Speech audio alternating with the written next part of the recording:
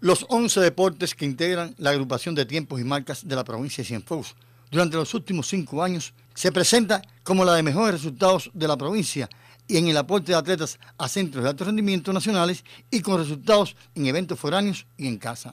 Próximo a concluir el 2022, en tal sentido, el director de tiempos y marcas en la provincia dio sus consideraciones. Hemos terminado en primer lugar en el deporte escolar, cuarto en juvenil y en la categoría social estamos dentro primeros lugares también eh, hasta la fecha.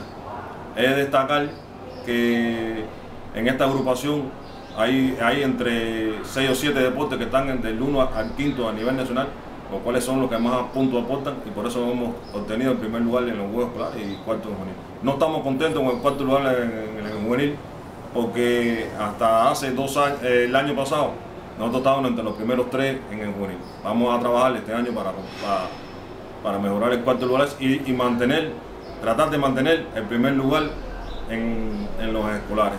El retorno de remo categoría escolar al primer lugar en los Juegos Nacionales y las medallas de plata en el Mundial de Levantamiento de Pesas de Elizabeth Reyes Intensa y la de oro de Marifel Izarría, también en esta disciplina en el Panamericano de Deporte, están entre los logros más importantes de la agrupación en 2022.